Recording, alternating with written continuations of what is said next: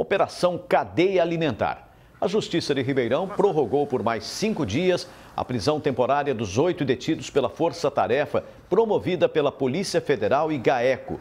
A operação foi deflagrada na última sexta-feira e investiga sonegação de impostos e fraudes em licitações da merenda escolar em 32 cidades do estado.